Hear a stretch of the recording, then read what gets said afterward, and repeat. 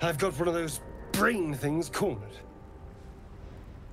There, in the grass. You can kill it, can't you? Like you killed the others?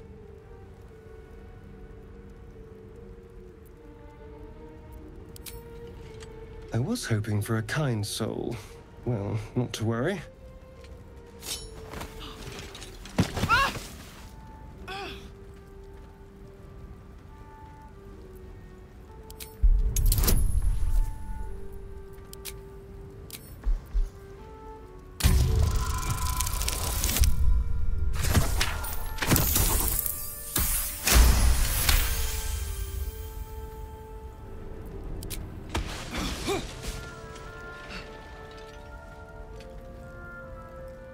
I saw you on the ship, strutting about whilst I was trapped in that pod. What did you and those tentacled freaks do to me?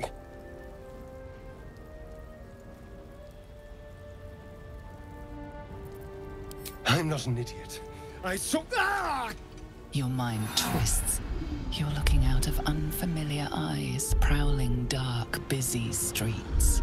You try to hold the memory, but it fades to the worm. The light, the fear. What was that? What's going on?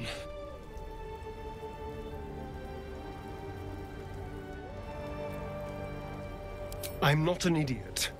It has to be those tentacled monsters. Something they did. They took you too. I saw it during whatever just happened. And to think, I was ready to decorate the ground with your innards. Apologies.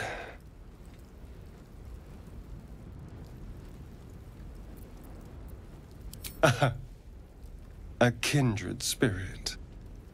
My name's Astarion. I was in Baldur's Gate when those beasts snatched me. A pleasure. So, do you know anything about these worms? Turn us into...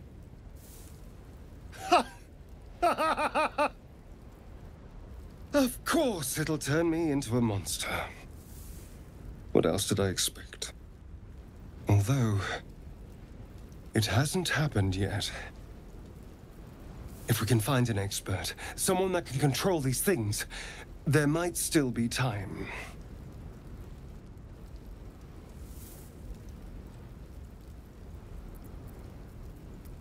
Well, yes, of course. But first things first. You know, I was ready to go this alone. But maybe sticking with the herd isn't such a bad idea. And you seem like a useful person to know. All right. I accept. Lead on. As he joins your side, your mind dances with thoughts of a perfect, pretty corpse.